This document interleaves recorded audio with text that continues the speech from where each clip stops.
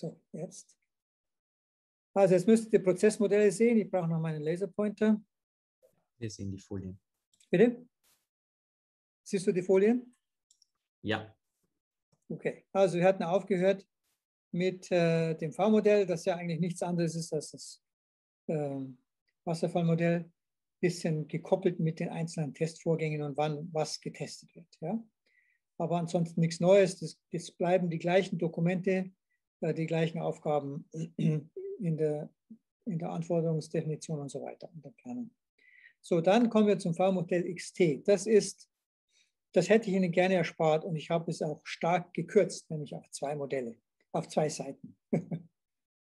ich muss es deswegen erwähnen, weil das V-Modell XT dasjenige ist, das Sie benutzen müssen, das wahrscheinlich vorgeschrieben ist, wenn Sie Arbeiten für die Regierungen machen, deutsche Regierungen, also Bundesregierung, Landesregierung, dann müssen Sie das sogenannte V-Modell XT benutzen. Wir schauen uns noch, es ist, in meinen Augen ist es, äh, es ist geeignet für Hardware- und Softwareentwicklung, so allgemein ist es. Und es kann ähm, in, in, in, verschiedene Formen ausgeprägt werden. Zum Beispiel könnte man da, damit auch das Wasserfallmodell beschreiben, ähm, aber auch andere Modelle, wie zum Beispiel das Prototypmodell, das wir gleich noch sehen werden. Ähm, der Standard selbst war mal 535 Seiten lang, ist möglicherweise jetzt schon wieder länger. Es werden Aktivitäten, Produkte und Verantwortlichkeiten festgelegt, ja? aber keine Reihenfolgen Phasengrenzen. Das ist das, was Sie in dem Prozess dann selbst beschreiben dürfen oder müssen, je nachdem, wie Sie es, wie Sie es sehen. Aktivitäten sind ein ganzer Strauß vorgegeben, die werden wir aber nicht auswendig lernen. Das ähm, finde ich, ähm, brauchen Sie jetzt für das Softwaretechnik 1 nicht. Aber Sie müssen wissen, dass Sie das also anpassen können, dieses V-Modell XT, äh, an die Form des Vorgehens, das Sie brauchen. Ja? Aktivität ist natürlich eine Tätigkeit, die ausgeführt wird und ein Ergebnis liefert und auch, auch beschrieben werden kann, zum Beispiel eine Entwurfsaktivität oder eine Implementierungsaktivität, eine Aktivität zum Schreiben von Tests und so fort. Produkt ist natürlich das Ergebnis einer Aktivität.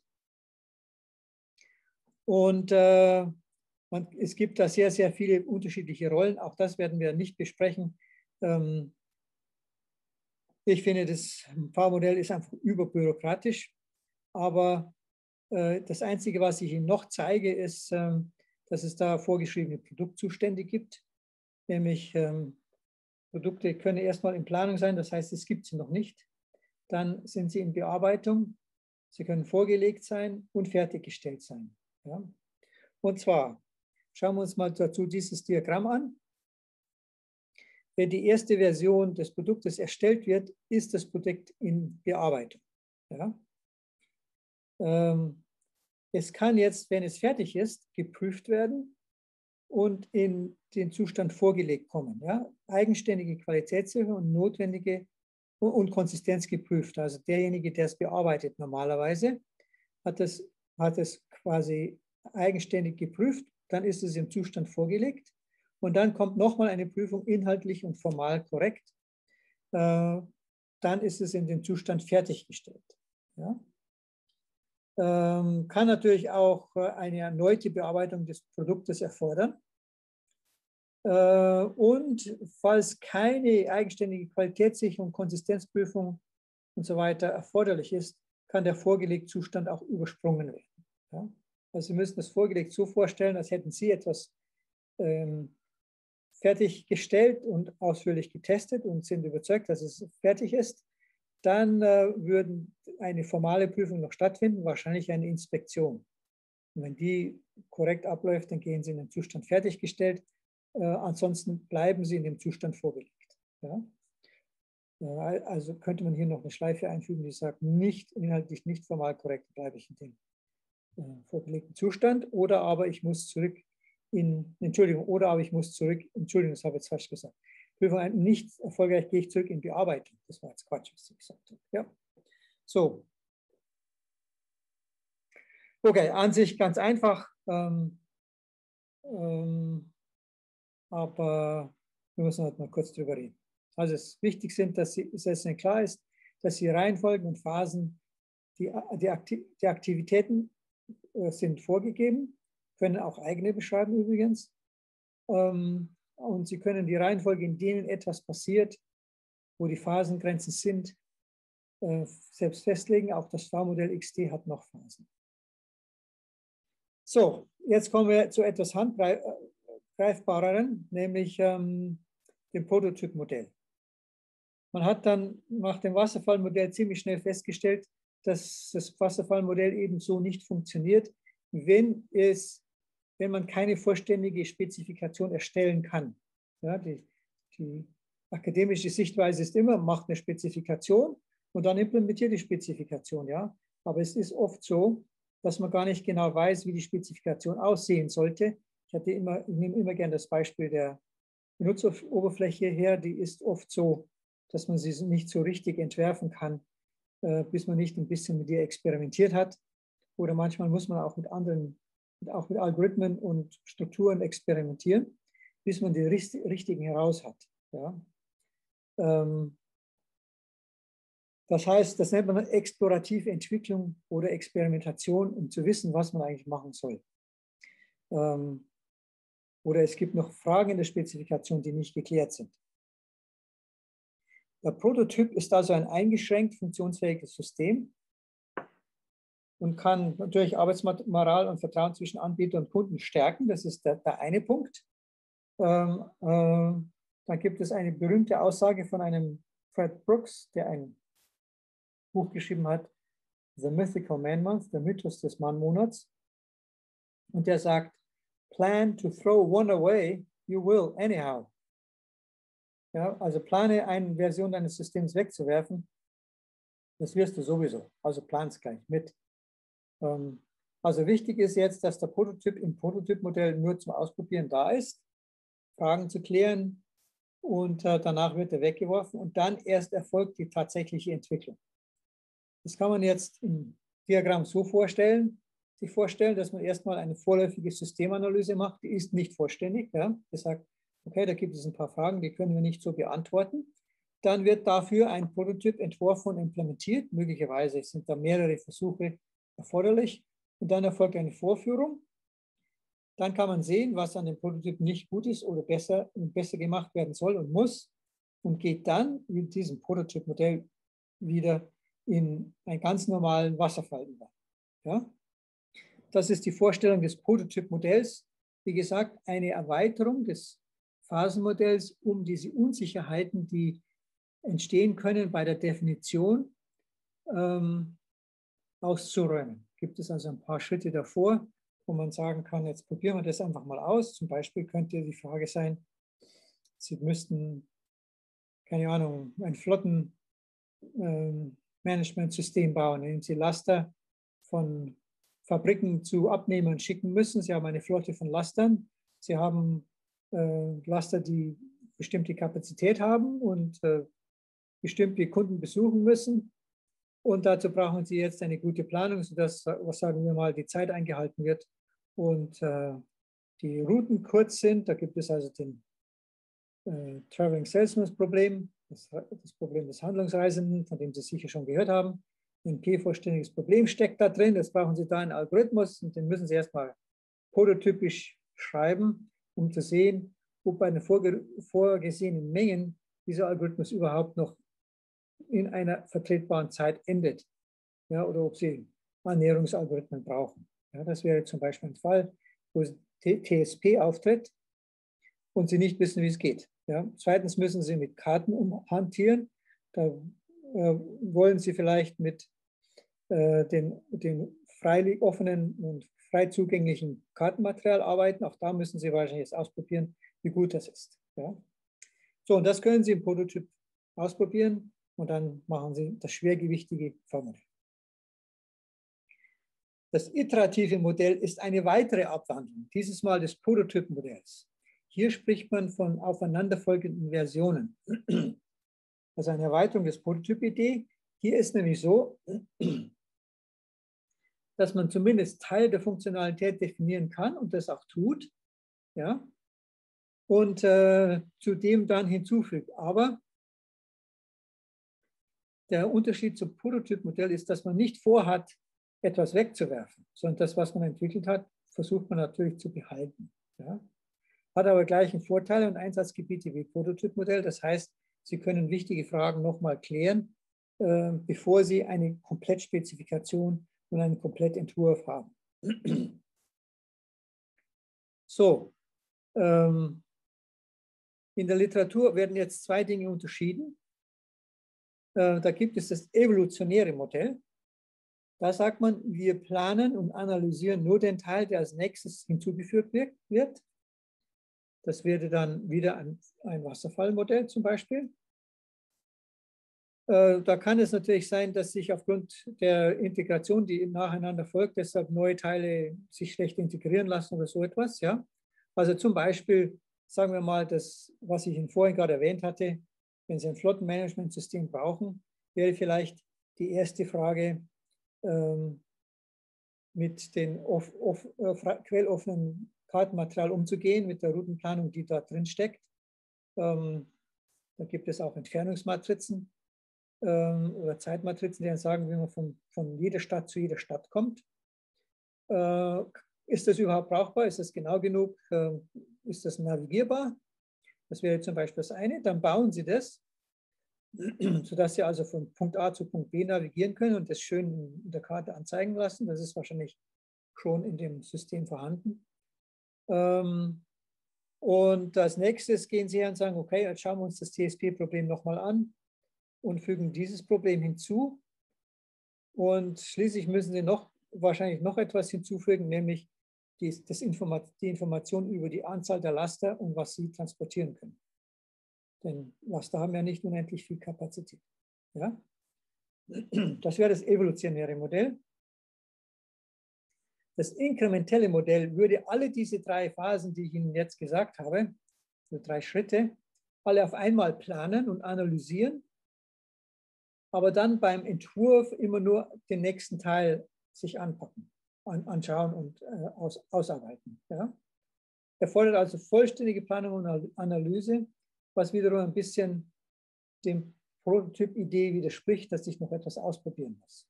Aber jedenfalls habe ich mir zumindest ähm, beim iterativen Modell die Gesamtentwicklung nicht in einem einzigen Wasserfall, sondern in aufeinanderfolgenden Wasserfällen. Immer wieder für ein zusätzliches Inkrement. Ja? Das heißt, es sind durchaus Mischformen und Flexibilität angebracht. Kann ich auch im iterativen Modell, kann ich einen Prototyp einbauen, als erstes zum Beispiel. So, um Ihnen zu zeigen, wie das iterative Modell gedacht ist. Ja? Wir hängen im Grunde genommen immer noch am Wasserfall und versuchen, den Wasserfall zu verbessern. Ja? Und äh, hier hinten, wenn ich, wenn ich ein fertiges System habe im iterativen Modell und hat Betrieb und gehe ich in Betrieb und Evaluation, und bin noch nicht fertig oder nicht zufrieden, dann gehe ich beim iterativen Modell zurück zum Entwurf und entwerfe das noch nicht, noch nicht implementierte und nicht entworfene Anteil, das als nächstes kommt. Ja? Das heißt also, ich habe hier vorne in der Planung und der Definition eigentlich schon alles definiert. Ich baue es nur noch in Stücken. Ja?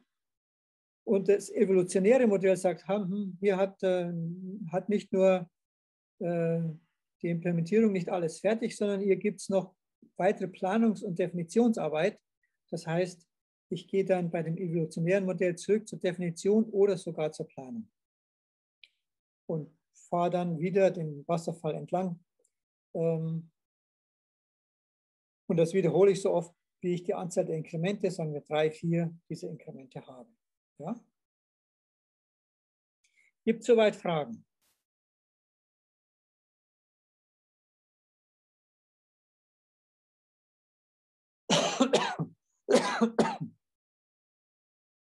Scheint keine zu geben. Ähm, dann gibt es das nächste Modell, das heißt das Microsoft-Modell oder Synchronisiere, Stabilisiere Modell, ähm, Sync and Stabilize. Ähm, das kam schon 1995 heraus, ist, wie Sie gleich sehen werden, stark verwandt mit dem iterativen Modell, ja, das wir gerade gesehen haben. Und warum werden Sie gleich wahrnehmen? Der Ansatz war, 200 Programmierer zu organisieren. Ja, zum Beispiel für das damalige Windows 95. Ja. In kleine Hacker-Teams, denen möglichst viele Freiheit für eigene Ideen und Entwürfe zu geben und sodass sie in kleinen Teams arbeiten können, die ja nachweislich effizienter sind als ein 200-Mann- oder Frau-Team. Ja. Ähm, aber sie synchronisieren regelmäßig, nämlich nächtlich. Das heißt also, ne, jede Nacht wird alles neu übersetzt und äh, getestet. Es gibt sogenannte extra Stabilisierungsphasen. Stabilisierung ist einfach nur ein Euphemismus, für sagen für Fehler finden. Und da sehen Sie jetzt, dass ich drei, eigentlich fünf Phasen habe, aber in der Literatur heißt es immer drei Phasen. Also als erstes gibt es die Planungsphase, mhm, das kennen wir schon vom Wasserfall bzw. Äh, iterativen Modell. Dann gibt es eine Entwicklungsphase in drei Subprojekten, also drei Subphasen. Das ist das iterative Modell, wenn Sie so wollen. Und danach gibt es noch eine Stabilisierungsphase, da werden eben Fehler weiter beseitigt. Ja? Ähm, es gibt aber keinen, keinen Wasserfall hier in diesen Subprojekten. Ja? Es gibt also keine explizite Entwurfsphase. Es gibt zwar eine Planungs- und Definitionsphase, aber keinen expliziten Entwurf. Und statt äh, Integrationstesten gibt es die Stabilisierungsphase. Ja? Also das sollten Sie Sie sollten diese Modelle so verstanden haben, dass Sie sie so vergleichen können, wie ich das gerade mache. Ja? Ich hatte Ihnen ja gesagt, wie Sie ein Prototypmodell vom äh, vom, äh, vom Wasserfallmodell ableiten und so weiter. Ja? Und hier gibt es nämlich auch Ähnlichkeiten. So, ein bildlich dargestellt sieht das Synchronisieren, Stabilisieren so aus. Da gibt es also zunächst mal eine sogenannte Planungsphase. Die ist übrigens gar nicht zu kurz, die darf bis zu einem Jahr dauern. Man sagt so zwischen drei Monaten und zwölf Monaten. Ja. Dann folgen die drei Subphasen für die Entwicklung. Die dauern dann insgesamt auch sechs bis zwölf Monate, also ein halbes Jahr bis ein ganzes Jahr. Das, so, das sind so Faustregeln, ja.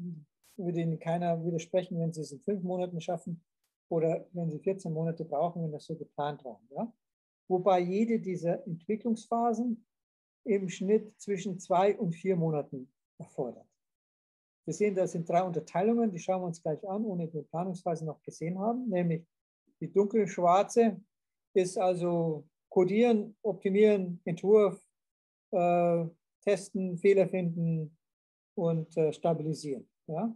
Das ist also die einzelne Arbeit, arbeitet der Einzelne an seinen Teilprojekten und integriert nächtlich in das Gesamtsystem. Das ist auch wichtig, dass die Leute nicht wochenlang an einem Modul festhängen und nichts liefern und dann plötzlich mit einem Big Bang daherkommen, in dem plötzlich nichts mehr geht. Sondern immer schön in kleinen Schritten arbeiten. Ja? Dann gibt es äh, sogar nochmal Integration und Testen und Debugging 2,5 Wochen. Das sind die zwei bis fünf Wochen. Das, sind die, ist dieser Abschnitt hier oder größer gesagt der hier. Und schließlich gibt es noch eine Pufferzeit.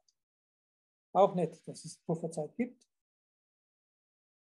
Aber so sieht dann in etwa die Planung aus, dass man hier in Zeiten dran schreibt, wie lange das dauern soll. Und in der Pufferzeit natürlich ist, wenn man, ist praktisch, wenn man länger braucht. So, und das hier wird dreimal wiederholt. Und jetzt ist halt natürlich die Frage, was tue ich in diese drei Phasen rein, diese drei Subphasen? Naja, die zentralen Funktionen natürlich werden bereits in der ersten Phase geliefert die allerwichtigsten, sodass ich im Prinzip schon nach Milestone 1 ein eingeschränkt funktionsfähiges System hätte. Ja? Ähm, dann natürlich kommen die nächstwichtigsten äh, Eigenschaften des Systems, die Funktionen, die wir noch, auch noch brauchen. Und die dritte Subphase wäre dann eben gewissermaßen die Abrundung. Schöner machen, noch ein paar Funktionen hinzufügen, die gebraucht werden und so fort. Ja? Das Allerwichtigste zuerst. Gut, das wäre also die Entwicklungsphase. Jetzt schauen wir uns noch kurz die Planungsphase an.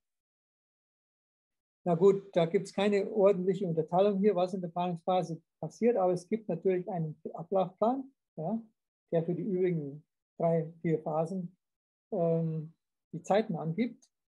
Ähm, als allererstes wird ein sogenanntes Vision Statement auf, ausgedacht, also was möchte ich in dem Software-System eigentlich haben, eine ganz grobe, visionäre, sage ich mal, Vorstellung dessen. Ähm, und ähm, dann gibt es ein Spezifikationsdokument, Wenn Prototypen erforderlich sind, dann werden auch die äh, gebaut in der Planungsphase. Es gibt Entwurfsstudien und äh, Machbarkeitsstudien, wenn erforderlich. Eine Teststrategie wird sich ausgedacht, das heißt also wahrscheinlich alles automatisch getestet, wie sich das gehört, jede Nacht alles getestet. Ähm, und dann natürlich äh, den Ablaufplan. Der sollte sich hier irgendwann mal zwischendurch schon fertig werden, sodass noch Zeit ist, um eine Review-Phase einzusetzen. Ja, also hier, hier oben wird alles gemacht bis auf, von der Planung, ähm, bis der Ablaufplan fertig ist. Und dann erst kommt nochmal ein Review und dann hoffentlich ähm, die Annahme dieses Planes.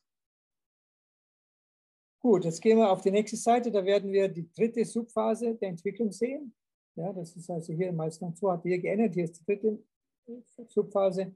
Und dann kommt die Stabilisierungsphase. Da gibt es also einen, einen, Zeitpunkt, wo man sagt, so jetzt wird an der Benutzeroberfläche nicht mehr geschraubt. Wir halten sie jetzt fest. Die wird jetzt eingefroren, so bleibt, so, so bleibt sie. Dann haben wir irgendeinen Zeitpunkt, sagen, haben alle Eigenschaften fertig. Während des äh, Fertigstellen passieren auch schon Optimierungen, Testen und äh, schließlich kommt der Zeitpunkt, wo die Leute sagen, so jetzt ist der Code vollständig. Dann kommt die Stabilisierungsphase selbst. Die, schauen Sie mal, die kann auch noch mal drei bis acht Monate dauern, also über ein Dreivierteljahr. Äh, da wird natürlich intern getestet, in der Firma selbst. Und dann auch die externen Tester, das heißt die sogenannten Beta-Tester, wo es Leute gibt, die gerne mit neuer oder noch nicht ganz fertiger Software arbeiten und äh, sie ausprobieren und Fehler melden und, und Verbesserungswünsche äußern. Die müssen natürlich dann auch noch irgendwie eingearbeitet werden, aber man hat ja schließlich dafür Zeit hier an der Stelle. Und schließlich kommt eben der Punkt, wo man sagt, so, jetzt haben wir keine Fehler mehr. Und dann werden damals noch, jedenfalls 95 müssen Sie sehen, äh, Ende der 90er Jahre werden also die CDs und DVDs, Masterdisketten, CDs gebrannt. Ja, dass das alles vollständig ist. Warum machen die das so? schauen. Ähm, also wir haben damit relativ kurze Produktzyklen. Wir haben, wie Sie gesehen haben, schauen wir uns nochmal die Zeiten an, damit wir nichts Falsches sagen. Die Planung vielleicht zwölf Monate, die Entwicklung nochmal zwölf Monate, das sind zwei Jahre. Geht natürlich auch kürzer, nämlich drei Monate und sechs Monate, das wäre unter einem Jahr, plus die Stabilisierungsphase, also zwischen ähm, einem und zwei, dreiviertel Jahren liegt so eine Entwicklung. Ja. Wichtig war äh, für Microsoft zu diesem Zeitpunkt oder auch noch immer, dass man in den einzelnen Phasen, nachdem man drei Phasen hat, die Entwicklungen, die, sagen wir, von anderen Firmen kommen, mit einspeisen kann. Ähm, das war zum Beispiel bei dem berühmt-berüchtigten Internet Explorer so. Ja, da gab es ähm, ein Konkurrenzprodukt, das sehr innovativ war. Ich weiß gar nicht, wie es, geheißen hat. Tobias, weißt du noch, wie das Ding geheißen hat? Nee. Naja, jedenfalls hatte jemand einen sehr schönen Explorer, äh, einen sehr schönen Internetstöberer entwickelt und ähm, Microsoft hinkte hinterher. Ähm, aber alles, was die gemacht haben, was die erfunden haben in der nächsten Release, konnte Microsoft dann einfach in der nächsten Phase auch anbieten ja, und, und nachbauen gewissermaßen. Ähm, also man kann durch diese kurzen Produktzyklen in dreigeteilte Phasen sehr schnell Konkurrenzentwicklungen aufgreifen oder auch insgesamt neue Erkenntnisse aufgreifen und in der nächsten Phase einspeisen. Ähm, es wird priorisiert nach Funktion. Sie kriegen auch natürliche Modularisierung durch diese Funktionen. Ähm, der Fortschritt ist möglich, ohne dass Sie vollständige Spezifikation haben. Ich brauche keine vollständige Spezifikation. Ich kann die am Anfang einer Phase immer neu festlegen. Äh, Sie haben viele Entwickler, die in kleinen Teams arbeiten. Ähm, und Rückmeldungen, wie gesagt, können frühzeitig einfließen. Ungeeignet aber für manche Arten von Software. Es gibt nämlich dabei oft Architekturprobleme, weil es kein, keine Abstimmung erfordert zwischen den einzelnen Teams, mangelhafte Fehlertoleranz und mangelnde Echtzeitfähigkeit. Es gibt keinen Prozess in den einzelnen Teams, den werden sie völlig sich selbst überlassen. Da wird also nicht vorgeschrieben, du musst UML nehmen oder du musst dies und das benutzen oder eine andere Vorgehensweise. Und es gibt auch kein Lernen über Teamgrenzen hinweg. Wenn also ein Team herausfindet, dass eine bestimmte Technik gut funktioniert, dann wissen die anderen Teams nichts davon. In der Praxis war es so, äh, dass bei Synchronize und Stabilize im Verlauf von 18 Monaten 50 Prozent, also die Hälfte des Codes, überarbeitet wurden. Ja? Codeinstabilität und eine Beschreibung der Architektur gibt es auch kaum. Ähm, dieses Modell wurde veröffentlicht von einem Herrn Cusumano und dieses Buch, in dem er das veröffentlicht hat, hatte den ähm, interessanten Titel Microsoft Secrets, also die Geheimnisse von Microsoft. Und das Buch wurde natürlich ein Renner, denn jeder wollte natürlich wissen, wie Microsoft Software macht und so schnell und günstig ist. Ja? Ähm, inzwischen hat sich da sicher etwas geändert. Ich weiß also nicht, was das augenblickliche Modell ist, das Microsoft benutzt, aber man kann immer sagen, dass Microsoft eine so große Organisation ist, dass sie überall alles, irg irgendwas überall finden. Also jede Technik wird sicher irgendwo benutzt. Ähm, wenn Sie eine Kurzform dessen haben wollen, des Artikels über das Microsoft Vorgehensmodell, dann schauen Sie unter How Microsoft Build Software in acm.org. Ich weiß nicht, ob die Referenz noch stimmt, aber möglich wäre es. Aber Sie finden es sicher einfach unter dem Titel Cusumano und Microsoft Build Software. So, und wenn Sie das Powermodell XT genauer wissen wollen, dann gibt es auch eine Webseite.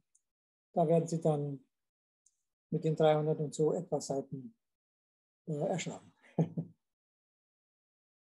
so, als nächstes ähm, machen wir die agilen Methoden, die also ganz anders laufen.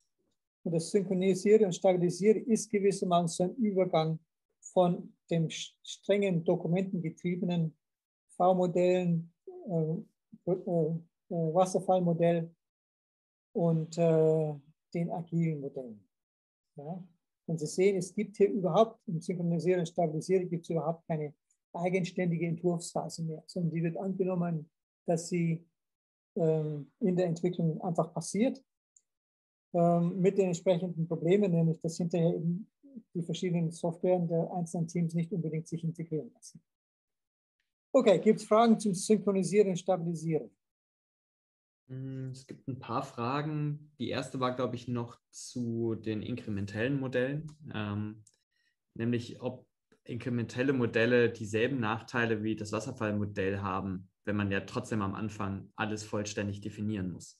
Ja, das, dieses Problem tritt dann auf, wenn ich das inkrementelle Modell in seiner Reihenform benutze. Ja, dass ich ja sage, ich plane und definiere alles, dann habe ich das gleiche Problem, was Definition und Spezifikation betrifft. Aber ich entwerfe nicht alles auf einmal und implementiere nicht alles auf einmal. Das heißt also, ich kann einen Teil des Gesamtsystems entwerfen und implementieren und testen und möglicherweise sogar damit schon experimentieren. Ich muss also keinen vollständigen Entwurf haben, aber ich brauche eine vollständige Definition. Ja? Im evolutionären Modell ist es anders. Da sage ich, ich plane nur mal die erste Version und führe dann den Wasserfall durch. Und am Schluss plane ich dann die zweite Version, die erweiterte Version und dann meinetwegen noch nur eine dritte. Ja? Dann gab es noch die Frage, ob man beim Prototypmodell anfangs auch mehrere Iterationen von Prototypen bauen kann oder auch während späterer Phasen noch, zum Beispiel während der Implementierung, nochmal ähm, eine Iteration an also, Prototyp ähm, Wenn man die Literatur liest, das Prototypmodell, dann sieht es genau so aus, wie ich Ihnen gezeigt habe, dass nämlich natürlich mehrere Fragen und Unsicherheiten geklärt werden dürfen. Das ist selbstverständlich, dass Sie da mehrere Prototypen bauen können. Das ist auch klar. Ja? Aber dass ich hier hinten dann nochmal ein Prototyp hier irgendwie reinflicken muss, das ist eher nicht gewünscht. Ja? Denn hier sagt man, was wir noch nicht wissen, um die Planung und die Definition vollständig zu machen, das wird hier geklärt. Das heißt also, wir sind dann bei der Planung und Definition vollständig und können auch einen vollständigen Entwurf machen. Und dann natürlich die Implementierung dazu. Ja, also eigentlich sollte ich hier hinten keinen Prototyp mehr brauchen. Ähm, in der Reihenform, aber Sie wissen, wie die Praxis manchmal ist, hat man halt hier oben doch etwas vergessen, stellt man jetzt, oh ja, dann wird jemand oder ein Teamabgeordneter vielleicht nur ein Prototyp für diese, diese, mit einem Prototyp diese Frage zu klären. Ja, genau. Also ich glaube, dass das in der Reihenform äh, passiert das ja gar nicht so häufig. Ähm, genau. Ist dann doch häufig so, dass man zwischendurch doch mal noch einen Prototyp bauen muss, um irgendwas zu klären. Ähm, genau. also, also es, in der Praxis geht es immer viel, viel drunter und drüber, als wie diese bereinigten Modelle einen Glauben machen. Ja. Das ist auch beim Wasserfallmodell so, dass eben es nicht immer möglich ist, die ganze Definition vollständig zu machen. Und wenn man die Leute dann dazu zwingt, dann machen sie das, und dann wird Software entwickelt, die hinterher nicht brauchbar ist. Ja. Mhm. Dann gab es gerade eben noch eine Frage zum Synchronisiere und Stabilisiere, nämlich warum denn da mangelnde Fehlertoleranz ähm, herrscht. Oh, kann ich gar nicht so, kann ich gar nicht so genau beantworten. Moment, das muss noch eins weitergehen. Kann ich gar nicht so genau beantworten, aber äh, es, Sie sehen, dass für, für Fehler einfach Zeit geplant ist, sowohl Pufferzeit als auch extra Zeit für Testen und Stabilisieren. Man rechnet offenbar mit vielen Fehlern, äh, weil es vielleicht keinen ordentlichen Entwurf gibt. Ja? Und wenig Interaktion zwischen den Teams. Das steht ja auch gar nicht drin. Ich kann mir eigentlich nicht vorstellen, dass ich ein Betriebssystem schreibe oder auch nur einen Internetbrowser, äh, wo ich ohne Planung der einzelnen Phasen hier ähm, die einzelnen Teams losschicke. Da muss ich zumindest ein paar der Schnittstellen geklärt haben, an die, die sie liefern müssen und auf die sie sich verlassen können. Ja, denken Sie an den modularen Entwurf. Das sagen wir ja immer, wir haben eine Schnittstelle, die ändert sich hoffentlich nicht, ähm, wenn sich die Implementierung ändert, aber auf die Schnittstelle kannst du dich verlassen.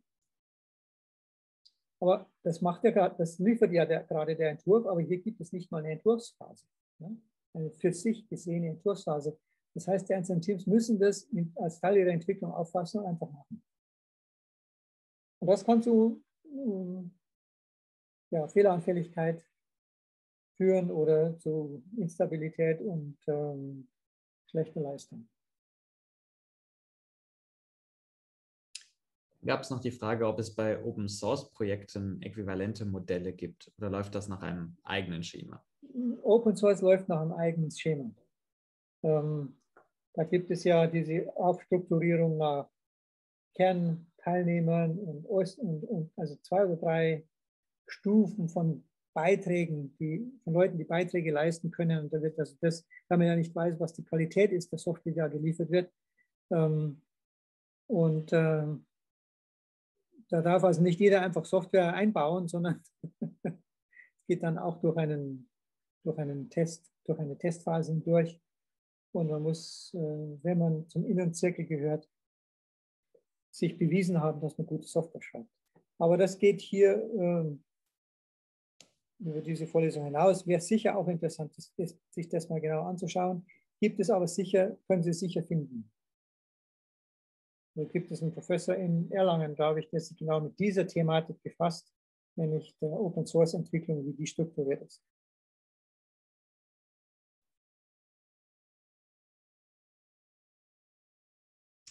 Dann gab es jetzt noch die Frage, was denn eigentlich Echtzeitfähigkeit in diesem Kontext bedeutet, also bei Prozessmodellen. Naja, Echtzeitfähigkeit heißt immer, dass Sie Berechnungen nach einer bestimmten Zeitschranke äh, geliefert haben müssen. Ja?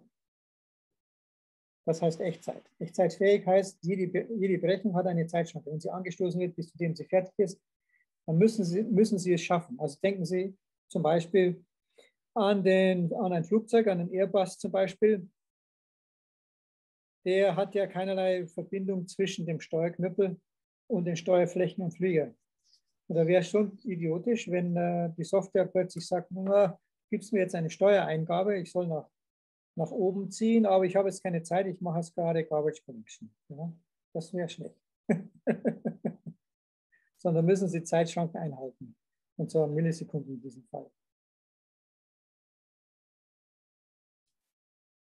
Und die Echtzeitfähigkeit ist natürlich erst sichtbar, wenn das Gesamtsystem integriert ist. Ja? Und dann äh, tritt, tritt das bei eben so einer separaten Entwicklung auf der Bühne.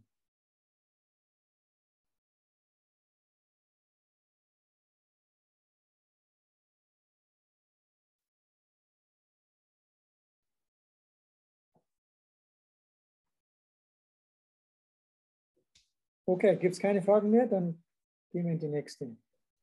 Ja, war jetzt nur die Frage, ob Windows 95 nicht auch ein Echtzeitsystem ist. Ähm, ein was System ist? Ein Echtzeitsystem. Nee, ist es nicht.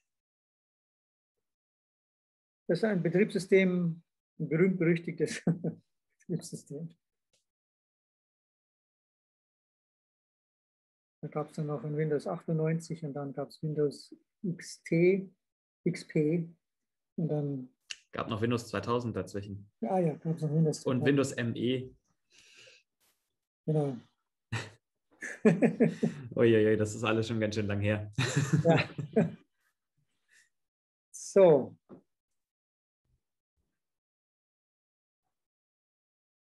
Hm.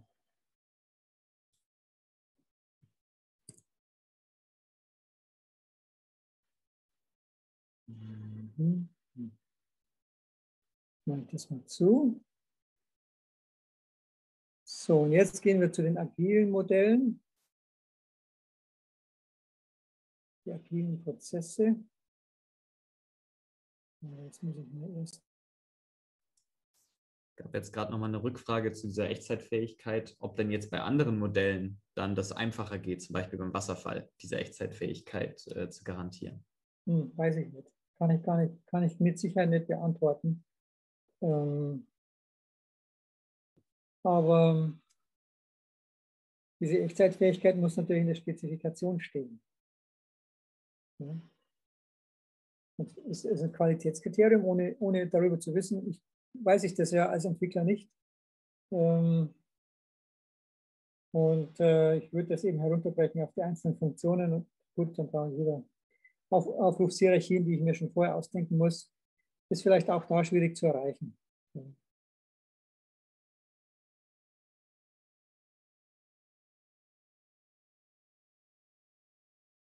So, ach, wir gehen jetzt in Sharing Mode.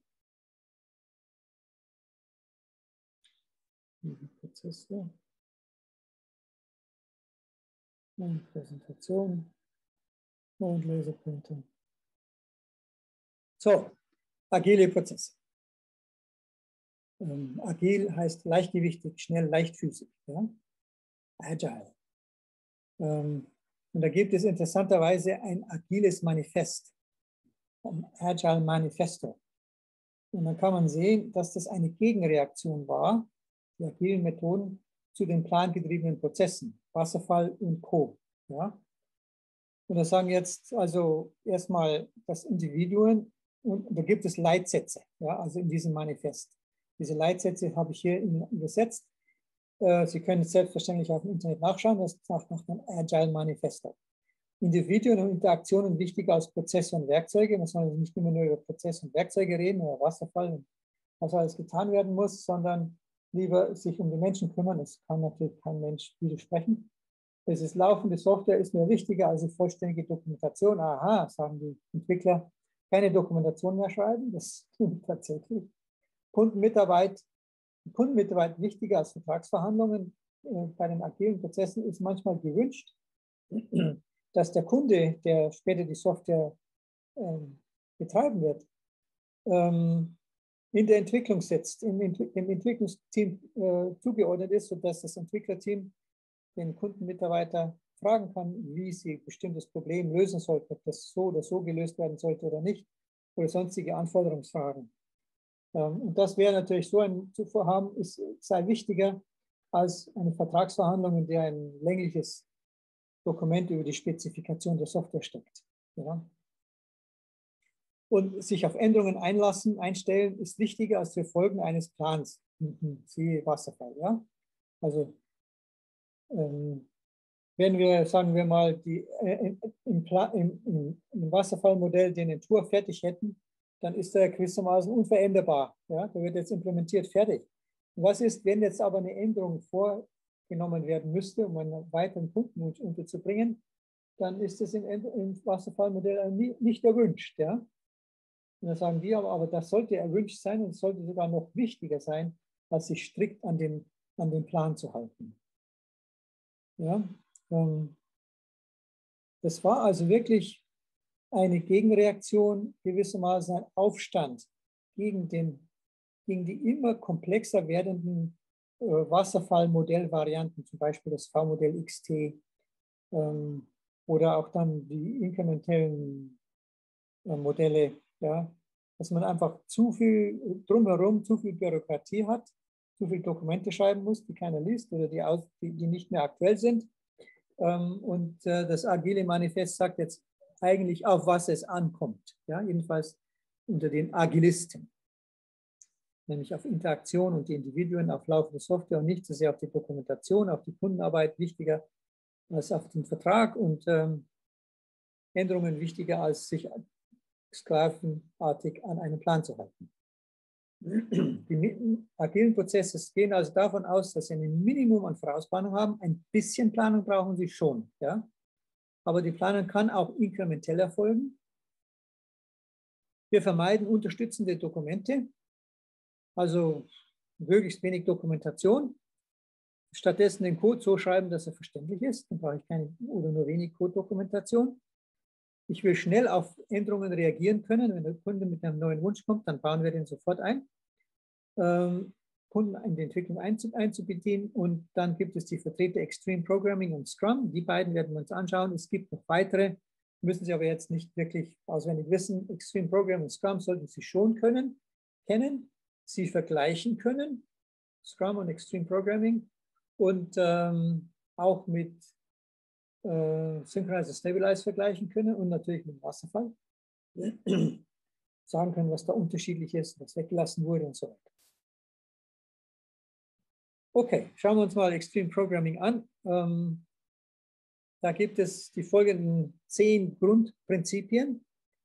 Die, die radikalsten äh, stehen gleich am Anfang, nämlich die Paarprogrammierung. Jede Zeile Code wird von zwei Leuten geschrieben.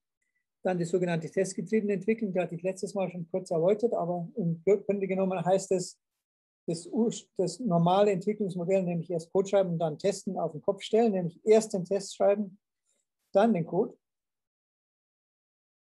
dann den sogenannten inkrementellen Entwurf, den man durch Umstrukturierung bereinigt. Ich meine, wenn Sie Synchronize Stabilize anschauen, da muss auch ein inkrementeller Entwurf passieren, denn es sind ja drei Phasen. Aber von einer Umstrukturierung wird da nichts gesagt. Ja? Das nehmen die also an als, als Aufgabe, die sich stellen wird, wenn man in kleinen Schritten äh, entwickelt, dass man einfach den Entwurf nochmal bereinigen muss. Dann gibt es eine sogenannte iterative Planung in, in, kurzen Zielen. Das hat einen komischen Namen, nämlich Planning Game oder Planungsspiel. Aktive Beteiligung des Kunden, das hatte ich Ihnen auch schon erwähnt. Fortlaufende Integration ist jetzt nicht so neu, das hatten wir auch in Synchronizer Stabilize schon. Dann gibt es natürlich Programmierrichtlinien, davon wissen Sie schon Bescheid, das können wir uns auch überspringen. Es gibt einen gemeinsamen Quelltextbesitz, das heißt, Code ist nicht das Eigentum eines Einzelnen, sondern kann eigentlich von jedem, der kompetent ist, äh, überarbeitet werden. Die Anwendungsfälle sind auf sogenannten Karteikarten beschrieben. Das heißt, sie müssen kurz sein werden in der Planung übrigens, in der Planungsphase erzeugt. Diese Planung gibt es tatsächlich. Und schließlich die 40-Stunden-Woche, naja, da haben wir auch nichts dagegen. So, also gehen wir jetzt die einzelnen Punkte schnell durch. Einige werden uns etwas länger aufhalten als andere. Die Paarprogrammierung sagt jetzt Folgendes. Jede Programmiertätigkeit, und zwar jede, auch das Schreiben von Tests, wird im Paar ausgeführt. Und zwar, das Paar sitzt an einer Tastatur, einer Maus und einem Bildschirm. Da gibt es eine Rollenverteilung, die sagt, ich habe Fahrer und Beifahrer. Der Fahrer denkt an die Implementierung des Algorithmus. Der Beifahrer denkt strategisch, denkt schon an den nächsten Schritt und führt gewissermaßen ständig eine Durchsicht durch, also eine Qualitätssicherung. In der Praxis ähm, kommt aber auch etwas anderes in Betracht, nämlich, dass die, äh, die beiden Paarteilnehmer, wenn sie sehr gut zusammenarbeiten, beginnen wie eine einzelne Person zu arbeiten. Das heißt, Sie können sich sehr effizient verständigen und ähm, gehen äh, synchron durch den Code und durch die einzelnen Abstraktionsstufen durch. Ähm, äh, was man weiß, ist, dass, die höhere, dass das höhere Qualität liefern kann, das Paarprogrammieren, und dass das Paarprogrammieren kompensiert für fehlende Inspektionen oder Reviews. Ja, Sie hatten ja gesehen, die beste Art und Weise, gute Qualität zu erreichen, sind Inspektionen. Die fehlen auch in Scrum, äh, auch in XP und auch in Scrum. Dafür hat man aber eben dieses Park-Programmieren und das kompensiert einige dieser Mängel, denn Sie können ja, der zweite kann ja permanent auch nach den Code überprüfen. Allerdings ähm, ist nicht klar, ob jetzt Paarprogrammieren besser ist oder Einzelprogrammierung plus Inspektionen. Ja, Paarprogrammieren ist besser als Einzelprogrammierung ohne Inspektion. Das, so viel ist klar.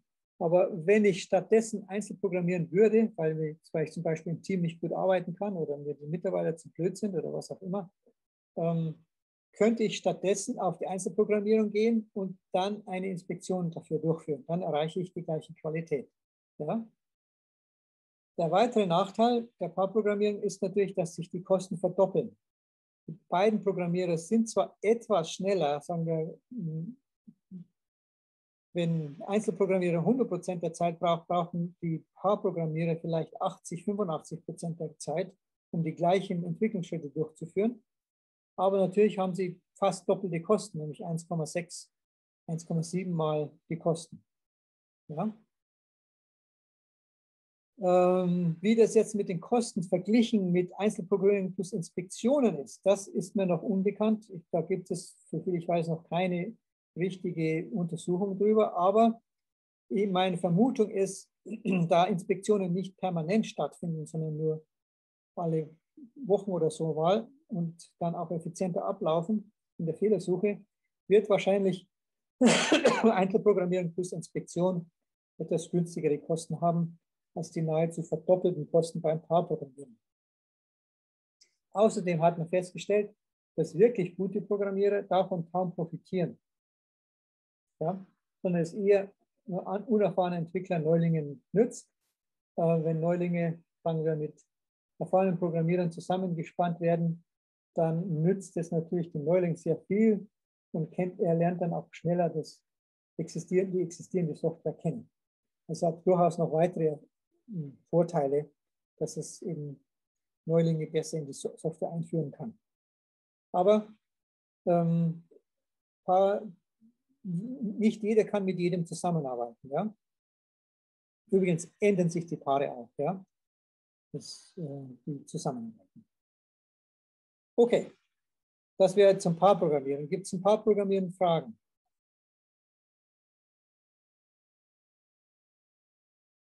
In der Vergangenheit haben wir XP in, in, in Praktika äh, durchprobiert ähm, und den Studenten hat Paarprogrammieren sehr gut gefallen. Da, sie gewannen da gewissermaßen eine Sicherheit und konnten voneinander lernen.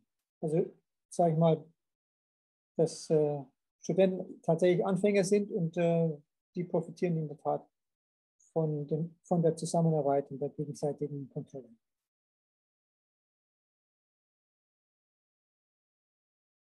Ähm, dann effizientes Testen, möglichst zeitnah zur Programmierung, sollte automatisiert und damit wiederholbar sein. Das kennen wir schon aus JUnit und verwandten Werkzeugen, aber das JUnit stammt tatsächlich von den XP-Entwicklern. Und äh, inzwischen gibt es eben für jede Programmiersprache ein Unit-Testgerät, sogar für Fortran heißt natürlich F-Unit. ähm, testen sollte man so oft machen wir übersetzen. Das heißt natürlich, dass die Testprogramme automatisch abläufen müssen, sich selbst testen müssen. Das müssen also alles Selbsttests sein, so wie wir das von JUnit natürlich kennen und sie inzwischen längst gelernt haben. Ähm, wie wir wissen, immer wieder der, der, das äh, Petitum, dass Testen keinerlei Garantie liefert, dass Fehlerfreiheit wäre sondern ist dazu da, um Fehler zu finden. Und wir können aufhören mit dem Testen, wenn bestimmte hm, Vollständigkeitskriterien erfüllt sind, die alle nicht garantieren, dass Fehlerfreiheit bewiesen ist. Ja, also die äh, sagen wir Anweisungserfassung oder Zweigerfassung geben uns zwar ein Abbruchkriterium, aber keine Garantie, dass kein Fehler mehr folgt. Aber sie garantieren, dass möglichst viel der Software getestet wird. testen bei XP. Und ähm, da müssen wir jetzt noch ein bisschen ausholen, bis ich zur testgetriebenen Entwicklung komme. Ja? Also ähm, das eine äh, Vorschrift ist, dass für jede Eigenschaft des Systems, jede Funktion mindestens ein Test vorliegen muss. Ja? Und das so, so, wird so ausgedrückt, any program feature without an automated test simply doesn't exist. Ja? Das heißt, die Programmierer schreiben Komponententests, Unit-Tests, die automatisch ablaufen, ist klar. Der Kunde spezifiziert Akzeptanztests, die das Team dann implementiert. Das heißt also, ich brauche irgendwelche, meistens natürlich irgendeine Virtualisierung der Eingabe und der Ausgabe. Das muss natürlich auch programmiert werden, äh, sodass diese Akzeptanztests laufen können. Und das wird vom Team implementiert. Selbstverständlich kann ich auch Stresstests einsetzen und ähm, die Testausführung häufig oder eigentlich immer automatisch sein soll. So, und jetzt kommen wir zu der viel bedachten, viel gepriesenen, testgetriebenen Entwicklung. Ähm, und zwar, jede Verhaltensänderung am Quelltext muss durch einen automatisierten Test mindestens einen motiviert werden. Das heißt, es muss so einen Test, Test geben, der bei diesen Verhaltensänderungen anspricht. Ähm, wir strukturieren den Code immer um, wenn notwendig, um einen einfachen Entwurf zu erreichen immer in die einfachste Form, integriere den Code so häufig wie möglich, das heißt sogar mehrmals am Tag, wenn, wenn nötig. Und äh, mit Paar, nachdem wir das in der Paarprogrammierung machen, äh, können wir da auch ein bisschen sicher sein, dass wir die Regeln der testgetriebenen Entwicklung auch wirklich eingehalten werden. Dass wir nicht abkürzen. Und das läuft jetzt so folgendermaßen ab. Sie, Sie sind, sagen wir mal, am Anfang in dem Zustand grün alle Tests, die Sie haben, laufen. Ja?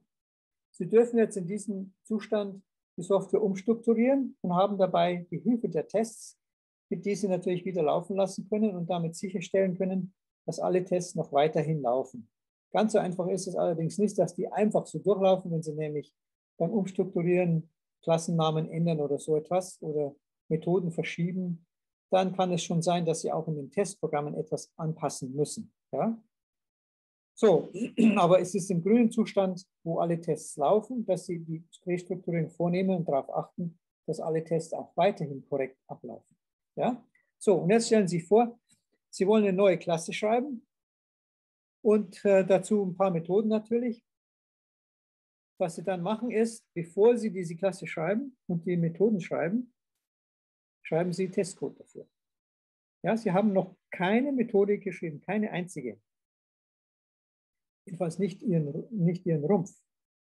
So, und dann wollen Sie den Testcode bereits ausführen. Ja, das geht natürlich auch noch nicht. Das heißt, Entschuldigung,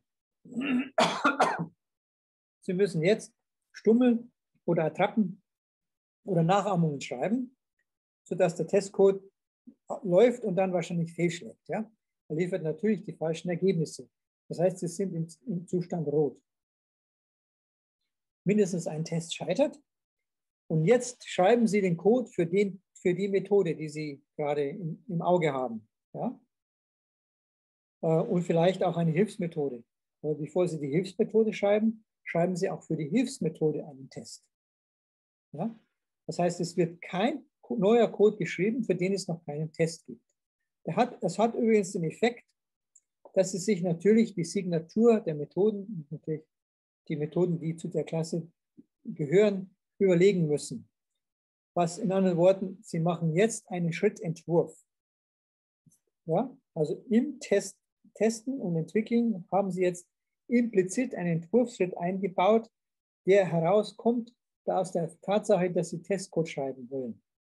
Sie müssen dazu einen Entwurfsschritt durchführen, nämlich für die Methode einen Namen festlegen und die Parametertypen, Parameter selbst und wahrscheinlich auch noch ein Rückgabe. Ja, das sind also diese Übergänge von grün auf rot, das haben wir jetzt gesehen. Gut, wenn Sie jetzt im Zustand rot sind, schreiben Sie den Code, der genau dafür da ist, damit der Testcode äh, korrekt läuft. Das ist der Übergang von hier, von rot nach grün. Wenn alle Tests laufen, sind Sie wieder im grünen Zustand. Sie dürfen jetzt umstrukturieren, wenn nötig aber ist wahrscheinlich jetzt am Anfang noch nicht gleich der Fall. So, jetzt kommen Sie zur zweiten Methode, die Sie schreiben wollen. Dafür schreiben Sie natürlich erstmal den Testcode, der nicht funktioniert. Sie schreiben, den, den, schreiben den, die Signatur hin der Methode, vielleicht einen Standardrückgabewert, ja, 0 oder sowas. Ähm, und dann versagt natürlich der Testcode und jetzt dürfen Sie wieder Anwendungscode schreiben, bis wieder alles grün ist. Sie sehen also, Sie haben den normalen Entwicklungszyklus von Testen, von, von Implementieren und Testen genau auf den Kopf gestellt. Genau, diese Übergänge haben wir jetzt eigentlich schon besprochen. Da muss ich jetzt nichts mehr dazu sagen. So, das wäre also jetzt das Test implementieren und umstrukturieren, alles in einem, mit Entwurf dazu. Also es gibt keinen vorausschauenden Entwurf, so wie wir das gelernt haben, sondern es wird einfach der Entwurf gemacht, um das Minimum zu erreichen. Der minimale Entwurf wird durchgeführt, ähm, nur so viel wie gebraucht wird, kein vorausschauender Entwurf, so wie wir das gelernt haben. Dafür haben wir dafür die Arbeit des Umstrukturierens. Zu sagen, okay, das war jetzt nicht gut, müssen wir wieder umschreiben. Das kann natürlich extra Arbeit erfordern. So, und jetzt kommen wir zum Umstrukturieren. Im Englischen refaktorisieren oder refactoring. Und das ist eine Änderung, a change made to the internal structure of software to make it easier to understand and cheaper to modify without changing its observable behavior. Ja, das ist refaktorisieren, also umzubauen, sodass sie einfacher zu verstehen ist und einfacher und billiger zu modifizieren, ohne das Verhalten zu ändern. Das nach außen hin sichtbare Verhalten. Das ist also das, was die Tests zum Beispiel sehen. Sie brauchen dazu die automatischen Tests, denn dann haben Sie immer ein lauffähiges Produkt nach der Umstrukturierung und Sie wissen, dass Sie nicht schlimmer, schlechter geworden sind, als Sie schon mal waren, weil die automatischen Tests noch laufen. Wenn nicht, muss natürlich das korrigiert werden. Änderung am ganzen Produkt ist für jede, jedermann möglich. Das heißt also, wenn mir die Software nicht gefällt, darf ich sie refaktorisieren. Ähm, die Umstrukturierung sollte möglichst dafür sorgen, äh, dass eine einfache Form entsteht, die die für bisherige Implementierung ausreicht. Wir machen auch hier wieder keinen zusätzlichen Entwurfsschritte, damit sie änderungsfreundlicher oder vorausschauend sind. Und wenn dann noch diese Änderung kommt, dann können wir die hier noch einbauen die, die, die, Begründung dafür der agilen Leute ist eben keinen vorausschauenden Entwurf zu machen und sagen, ah, Entwurf ist billig und das Umstrukturieren ist auch billig, das können wir dann inkrementell machen, da müssen wir nicht unbedingt voraussehen, die Änderungen, die kommen. Das ist also genau das Gegenteil, was wir im modularen Entwurf gelernt haben, nämlich den vorausschauenden Entwurf, der sagt, was sind die möglichen Änderungen und jetzt baue ich die Schnittstelle so, dass sie unempfindlich ist gegenüber diesen potenziellen Änderungen. Okay, ich bewerte das jetzt nicht, ich sage es Ihnen nur, wie es gemacht wird. Ja? Und er sollte natürlich der Code seine, einfach, seine einfachste Form erreichen und die Tests erfüllen, verständlich sein für die anderen Programmierer, die Intention der Programmierer klar ausdrücken, keine duplizierte Logik enthalten, keinen kopierten Code, ähm, möglichst wenig Klassen und Methoden, also möglichst schlank und äh, Reihenfolge, wie man das äh, erreicht, ist eben entscheidend. Ja. Alle Tests müssen erstmal erfüllt sein, das ist wohl das Wichtigste. Ähm, die, Umstrukturierung soll also nachfolgende Produktivität erhöhen. Das hatten wir ja erreicht bereits mit einem vorausschauenden Entwurf. Ähm, durchgeführt wird die Umstrukturierung an sogenannten faulen Gerüchen oder, oder an Gestank in den Code. Der Gestank tritt auf, wenn Sie duplizierten Programmtext haben, wenn also durch Copy and Paste programmiert wurde und die gleichen Aufrufsfolgen an mehreren Stellen vorkommen, dann ist das ein Hinweis dafür, dass restrukturiert werden muss. Ja. Ähm, wenn Sie parallele Vererbungsbäume haben, äh, dann kann es sein, dass Sie mit Strategien oder sonst etwas oder anderen Entwurfsmustern diese parallelen Vererbungsbäume auf einen Vererbungsbaum reduzieren. Ja? Ähm, oder aber Sie stellen fest, dass um eine Änderung durchzuführen, ähm, eine neue Funktion, äh, einer neuen Funktion viel an vielen Stellen ändern müssen. Ja? Das heißt also, der Code ist schlecht strukturiert, weil diese neue Funktion eigentlich einfacher hinzuzufügen sei. Das heißt, Sie müssen möglicherweise an anderen Stellen irgendetwas ausklammern und in äh, Hilfsfunktionen Hilfsmethoden verlagern oder was immer dazu notwendig ist. Das nennt man Schrotflintenchirurgie. Entschuldigung, habe ich nicht erfunden. Shotgun Surgery. Ähm, Sie können sich vorstellen, wenn Sie von Schrotflinte getroffen werden, dass dann vielen Stellen operiert werden muss. Ja? Das ist der Hintergrund dieser martialischen Beschreibung. Ähm, Finde ich jetzt nicht gut, aber es heißt so. Und noch ein solches, das ist sogenannte fauler Geruch. Das, ich fürchte, das wird selten vorkommen, aber wenn die Kommentare zu umfangreich sind, dann sollte man hergehen und die Variablen und die Methoden besser benennen, Codestücke herausziehen und Hilfsmethoden verpacken und deren, äh, deren Java-Doc angeben, sodass das alles besser verständlich wird. Dann sinkt auch der, hoffentlich die Anzahl der Kommentare. Ja? Also eine Variable x zu benennen und mit einem umfangreichen Kommentar zu versehen, ist nicht so gut wie die Variable gleich mit einem entsprechenden Namen zu versehen. Das ist allerdings leicht zu verstehen. Ja? Inkrementeller Entwurf, inkrementelles Design. Der konventionelle Ansatz ist Implement for Tomorrow, äh, Entschuldigung, Implement for Today, Design for Tomorrow. Das ist unser vorausschauender Entwurf. XP-Ansatz sagt, the system should be designed as simply as possible at any given moment. Extra complexity is removed as soon as it is discovered. Ja? Also wir wollen keinen ausführlichen Entwurf, der auf Änderungen dann der Zukunft vorbereitet ist, sondern wir wollen nur genau das, was wir gerade machen müssen, um so schnell wie möglich zu sein, so agil wie möglich. Deswegen heißt es ja auch agile Methodik. Stattdessen machen wir kleine Entwurfsschritte und Restrukturierung statt einer großen Entwurfsreise. Das ist die Idee dahinter. Ja? Okay, Fragen soweit.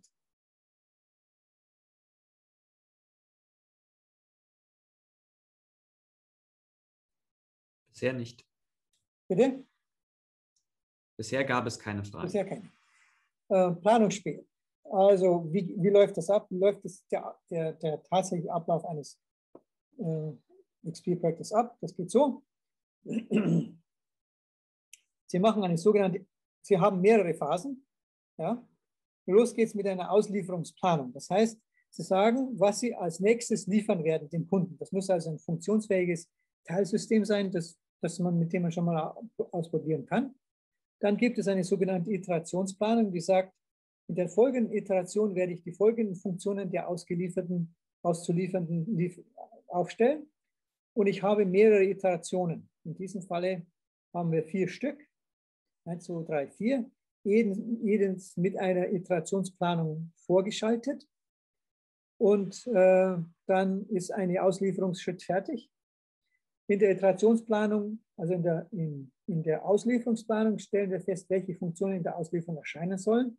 In der Iterationsplanung sagen wir, welche dieser Funktionen wir tatsächlich in der nächsten Iteration implementieren werden. Ja? Danach folgt eine nächste äh, Iteration in dieser Iterationsplanung legen wir auch fest, wer was schreiben wird. Von diesen Auslieferungen gibt es mehrere, dafür, daher gibt es auch mehrere diese Phasen, die immer aufgegliedert sind in eine Auslieferungsplanung, Iteration und Iterationen. In diesem Bildchen haben wir jetzt drei Stück von drei Auslieferungen. Ja? Woher wissen die aber, welche Funktionen wir überhaupt brauchen? Ja? Und das sind die Dinge, die auf den, auf den Registerkarten notiert sind. Ähm, ja, das war schon das. Äh, dann gibt es noch den Kunden vor Ort, der später das Produkt wirklich nutzen sollte. Sollte immer verfügbar sein, vielleicht sogar im selben Raum mit den Entwicklern. Ist aber in der Praxis nicht ganz einzuhalten, denn der Kunde will das meistens gar nicht. Er sagt, mach mal, stellt mal die Software her und äh, nehmt mir nicht einen meiner Mitarbeiter weg. Das ist das eine Problem, aber selbst wenn er das tut, äh, ist dieser Mitarbeiter meistens auch noch unterausgelastet, weil er natürlich nicht da mit Fragen bombardiert ist, sondern die Programmierer ja auch mal was programmieren müssen. So, es gibt es, Kent Beck ist also einer der Erfinder von, von Extreme Programming. Der sagt also, bei konventionellem Entwicklungsprozess steigen die Kosten für Änderungen exponentiell mit der Zeit. Je später es ist, desto teurer wird es.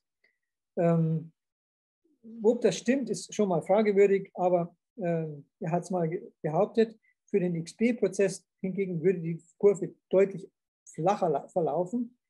Ähm, ich nehme an, vor allem deswegen, weil eben restrukturiert wird immer wieder, während man bei den Wasserfallprozessen eher den Umstrukturierung nicht mehr vornimmt oder vornehmen kann, weil das Zeug einfach zu umfangreich ist. Ähm, asymptotisch gegen irgendeine obere Schranke für die Kosten für die Änderungen, naja, ich bin mir da nicht so sicher, ob das wirklich der Fall ist, aber es ist der Fall, dass agile Methoden tatsächlich produktiver laufen. Äh, ob die Steigerung der Kosten wirklich nur asymptotisch auf eine diese auf obere Schranke hingeht, ähm, würde ich jetzt nicht unterschreiben, sondern er ist vielleicht ein bisschen hinausgeschoben, dieser Verlauf, äh, dass, dass, dass er eher realistisch ist, dass es hier so eine Zone gibt, wo die Kosten nicht steigen, aber wenn die Software einfach irgendwie noch mehr, noch und noch komplexer wird, nehmen auch die Kostenveränderungen auch, auch bei Scrum und bei XP zu. Also, diese asymptotische Kostenkurve beruht auf Erfahrung Einzelner. Es gibt keine Produktdokumentation, wobei sich die XP-Leute darauf hinausreden, dass sie sagen, wenn der Kunde sagt, er möchte eine ausführliche Produktdokumentation, dann machen wir die natürlich auch. Dann führen wir die durch und das kostet natürlich auch extra. Dann der Prozess selbst innerhalb der Iterationen ist natürlich unstrukturiert. Es keinerlei Vorgaben, wie der Entwurf gemacht werden soll, an was man sich da zu halten hat, was einen guten Entwurf ausmacht, welche Entwurfsmuster man verwendet und so, wird nicht kommuniziert, wird nicht äh, dokumentiert. Und das Paarprogrammieren ist äh, indessen sehr kostenintensiv. Ähm, mir ist also noch keine Firma bekannt, die Paarprogrammierung konsistent durchführt.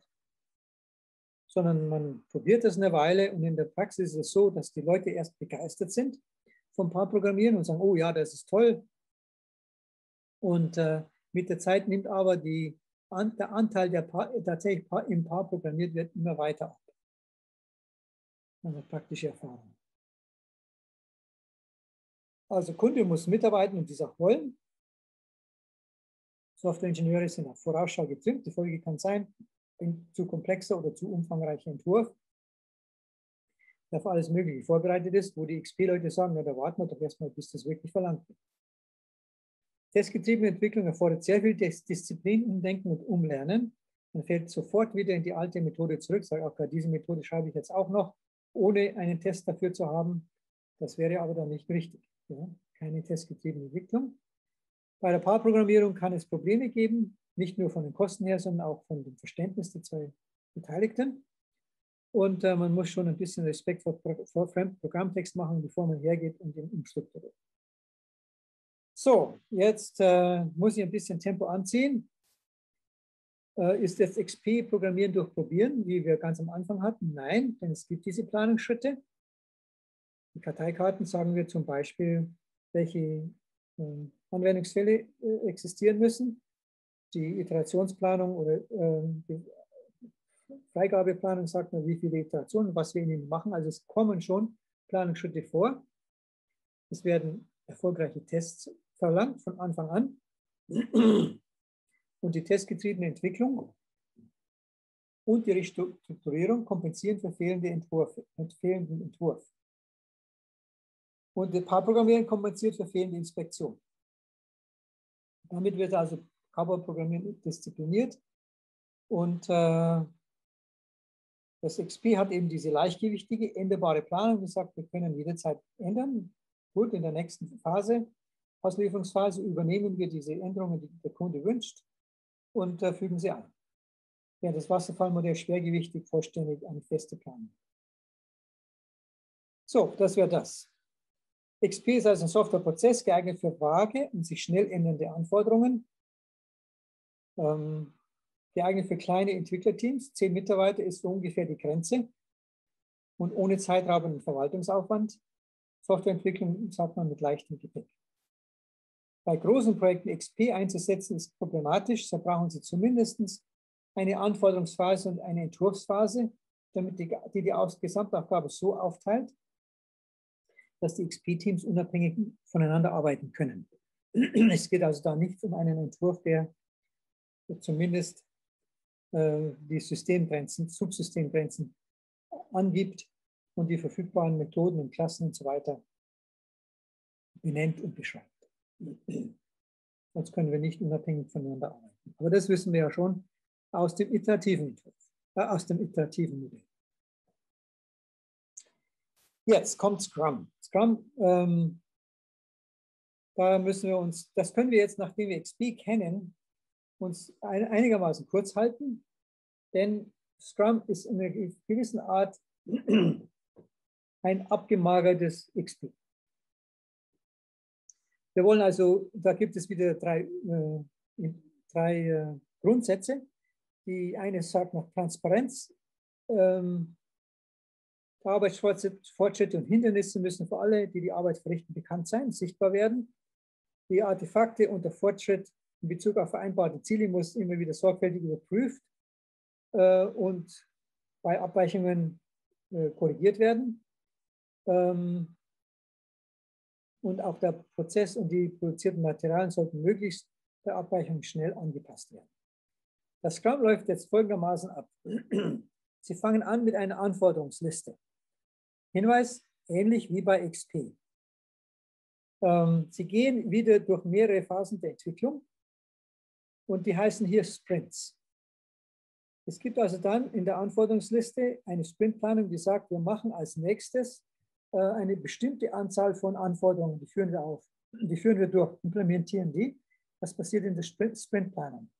Hinweis auf XP, aha, das hatten wir auch, das war die Freigabeplanung. Ähm, dann wird die Aufgabenliste für den aktuellen Sprint aufgestellt. Das muss alles gemacht werden. Die Leute, die beteiligt sind, sagen, welche, welche Arbeiten sie übernehmen werden. Und dann gibt es den sogenannten Sprint. Das heißt also, innerhalb eines Monats oder weniger wird jetzt diese Aufgabenliste implementiert und wir erhalten einen auslieferbaren Produktteil.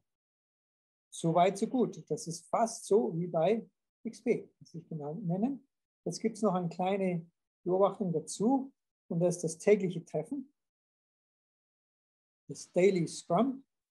Alle 24 Stunden, also am Morgen jedes Arbeitstages, treffen, trifft sich das Sprint-Team, bespricht den Fortschritt und erklärt, was, was sie als, ob sie an einem Problem hängen äh, und was sie als nächstes machen werden.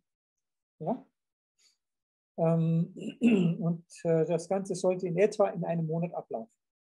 Wenn das erledigt ist, und dieses Sprint erledigt ist, gibt es ein Sprint Review. Dieses Sprint Review kann dazu führen, dass wir die Anforderungsliste aktualisieren müssen. Das heißt, wir können, äh, müssen unter Umständen neue Anforderungen hinzufügen oder alte Anforderungen korrigieren oder sogar löschen. Außerdem gibt es eine Sprint-Retrospektive.